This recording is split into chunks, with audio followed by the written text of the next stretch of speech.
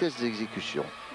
Mais enfin, c'est normal, alors que lui, le Chinois, Yuang, va peut-être nous étonner à la barre fixe. Les Chinois sont toujours en forme, petit temps d'arrêt, d'entrée quand même. Attention à l'envol maintenant. Bien. Vax, repris parfaitement bras tendu.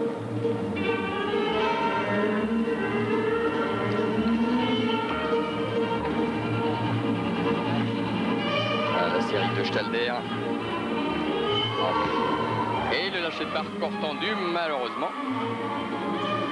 Là aussi, il a manqué de vigilance. Car il était parfaitement à distance de la barre, il aurait pu s'en saisir. Et tout à l'heure, nous aurons Karbanenko qui va passer La à la un peu sur les poignets.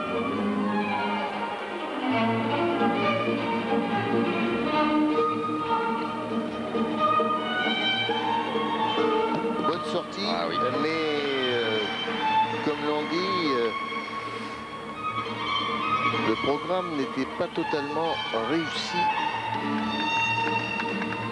C'est dommage. Ouais, mais c'est un tout jeune gymnaste et quel talent déjà. Regardez, double arrière tendu avec double vrille. Il arrive bien debout.